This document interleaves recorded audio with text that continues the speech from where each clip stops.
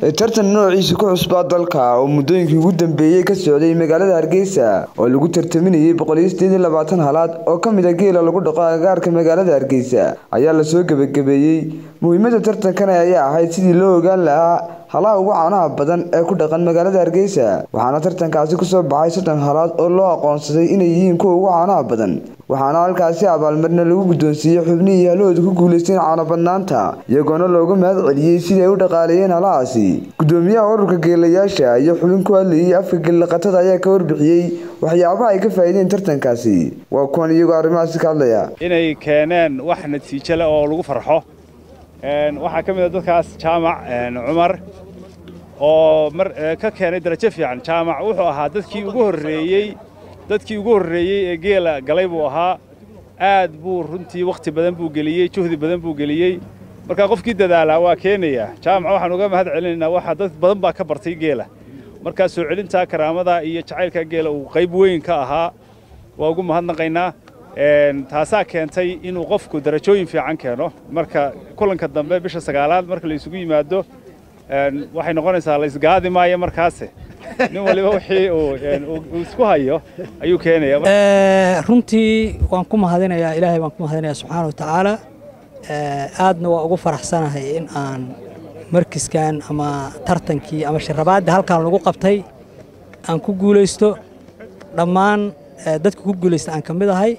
Dhammaanna waa u mahad celinayaa dowladda xukuumadda imaaraadka iyo xukuumadda somalilan iyo ururka geelleyda oo barnaamijkan qayb weyn ka qaatay. Markaan hargeysa geela ku xaraynayey ummadda joogto dhan waxay dhaheen nin waala wey ninkaan hala qabto. Markaan bilaabay oon keenayey yacni ninkii shaqadaa gacanta ku hayay axmed dagaalo miraa la yidhaha waa la weydii karaa. Gurigii wuu ku hoyo waay markii dambe waxaan ku yidhi axmedow iska daa. Adaa arki doono meel la kala geeya iyadoo la waayee sidaas bay ku timid. Marka arrin sahlan ma ahayn runtii raggan garbahayga taagan waa laga dhaadhici waayey cabdulaahi carab iyo ninkii la yidhahdo mustafa cali daaqi raggale in geel sidaan loo dharqi karo. Inta albaab loo soo xiro lagu xanaanay karo rag badani ma aysan aaminsanayn.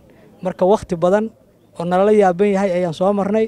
Maanta marka inaan heerkan joogno oo xataa ragga qaar naga horeeyaan sida muumin oo kale aad baan ugu faraxsannahay. Gabagabadiina waxaa tartankaasi soo afmeeray wasiirka wasaaradda xanaanada xoolaha iyo horumarinta kalluumaysiga somalilan siciid sulub maxamed isagoona uga mahad celiyey xubnihii ka shaqeeyey sidii uu qabsoomi lahaa tartankani waxaana uu sheegay in tartankani uu noqon doono mid joogto ah. Wasiir siciid oo arrimahaas ka hadleena waa kan.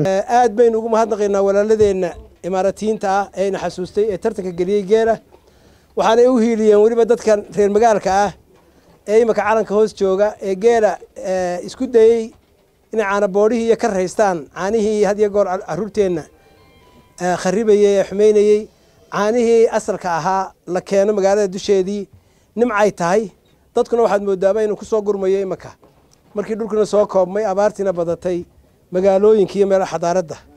Oo waxaynuna yahay maanta inaynu waxna beeranno xoolaheennana fadhiisinno jaahiliyaddiina ka soo baxno troolkiina iyo nimcadiina waynoo taallaa inakun bay nagu xidhantay la soo bixiisa.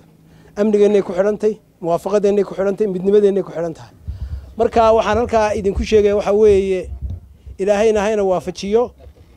Halkan imaka tartan baa ka dhacay. Tartankaasu bari iyo galbeedba reer somalilan ha arkeen. Cid walba way soo gaadhaysaa sanadka dambe in burca lagu qabtaa la arkaa. Haddii aan la yidhaahdo sanaagu gaadho sool gaadho.